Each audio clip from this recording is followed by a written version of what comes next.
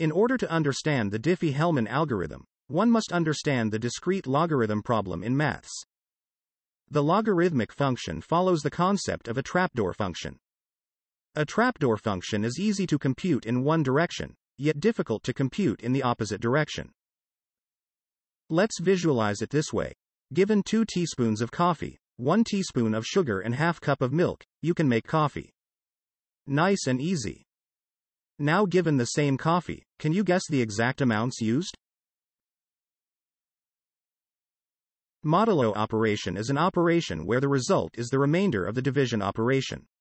We say 13 mod 5 is congruent to 3 because 13 equals 5 by 2 plus 3.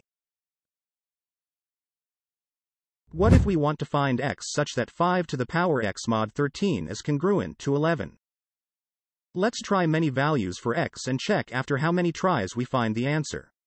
After 8 tries, we will find that for x equals 8 we will get 5 to the power x mod 13 is 11. Now here is where it gets interesting. Let's say we have x as g to the power y mod p. But now we have p as a very large prime number and g and x are also very large numbers. And by large, we mean, really large. Imagine for example p is 2048 bits. Can you find y given these circumstances? This is the gist of the discrete logarithm problem, and even with the current generation computers it would take a very long time to solve. And one of the reasons prime numbers are used is to avoid repeating patterns. For example, let's take p equals 12, a non-prime number. As you can see, use of this number leads to repeating patterns, and in cryptography, randomness is critical. On the other hand, Let's take for example p equals 11, a prime number. Notice that now, in contrast, there are no patterns.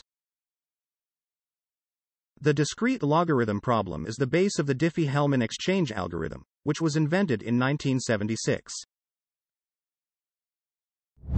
Diffie-Hellman key exchange can be used to securely exchange a secret key over an insecure network. It works using the concepts of prime numbers and modulo operations. First, JP and Joe both agree on two numbers, G and P, a large prime number.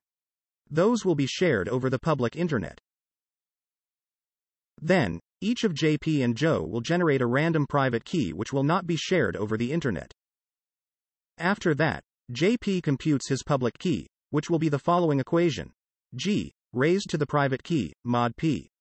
Then, he will send his public key to Joe. Similarly, Joe also computes his public key the same way and sends it to JP. To recap, until now, both parties have shared over the public internet the params G and P, and their respective public keys. The private keys were not shared. Now let's see how the shared secret will be derived from these params. JP will compute the shared secret on his side using the following equation. S equals the public key of Joe raised to JP's private key mod P. Joe also computes the shared secret on his side with the same equation, using JP's public key and his private key. The secret key they have each calculated independently will be the same. Let's explain the maths behind this.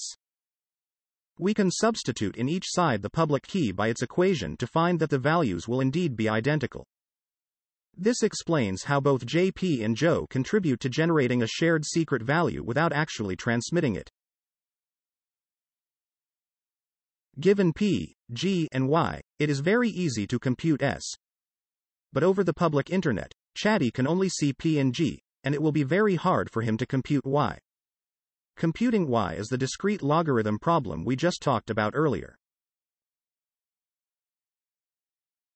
In the TLS handshake, the shared secret will be fed into what's called a key derivation function. The KDF takes as input the shared secret, and other params such as a salt and some additional app-specific info. With all these inputs, the KDF will produce many keys, for example the MAC key, and the symmetric key used for data encryption. So that's it. I hope you are enjoying this mini-series about TLS. For any questions, please ask in the comments section. See you in the next lectures.